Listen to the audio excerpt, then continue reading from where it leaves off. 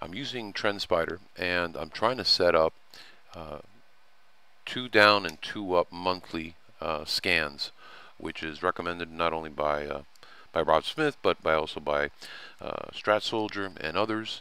And so I wanted to give you a quick uh, way of doing this on uh, on TrendSpider. And so if you go up to the top right corner where it says Market Scanner, click on that button right there. It'll bring up this pane, this window pane at the bottom. I already did mine, but I'm going to do another one for you so to show you how it's done. So do new scanner. At this box, you'll put whatever the name of the scanner is. In this case, it will be two down. Oops, two down monthly.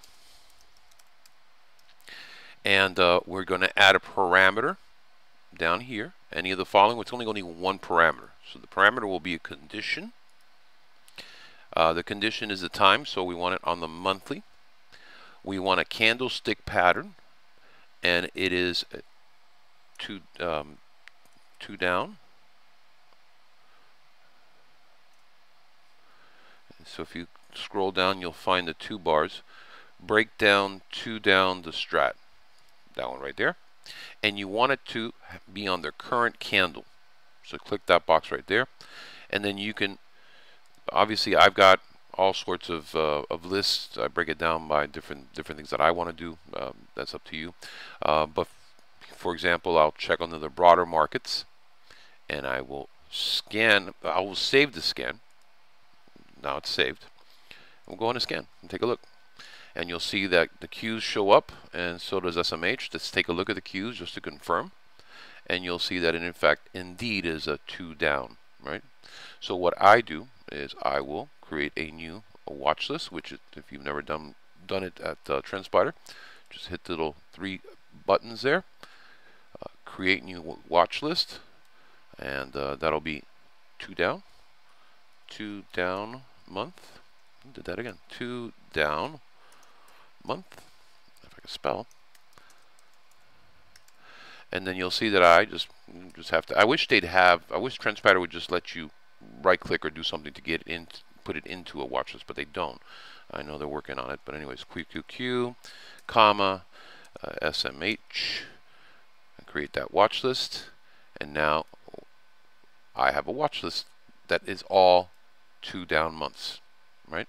SMH as well, two down monthly. Let's go ahead and do that one more time. Um, general market overall, scan, and you'll see you'll see some overplay on my list, but what have you. You got XLP, SLV, and so forth. Go ahead and open this up. Uh, edit the two mount down month, comma, and we're going to put XLP, SLV, XLK, XLV.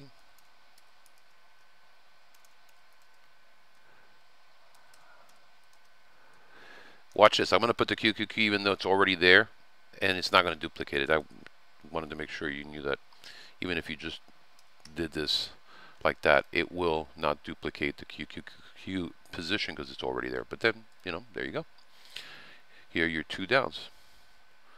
Interestingly enough, that's a green one. XLK, and there's your two down. So anyways, I hope this uh, video helped. Uh, I really like uh, TrendSpider a lot for that reason, um, that I can run these scans and uh, you know, try to run these scans uh, or set up these scans uh, at the end of the first week of the month uh, so that you have some indication as to where we're going, uh, who are your twos, because we don't want to be trading ones, one bars at all. want to stay out of that. So that's, that's a suggestion by Rob Smith and, of course, others.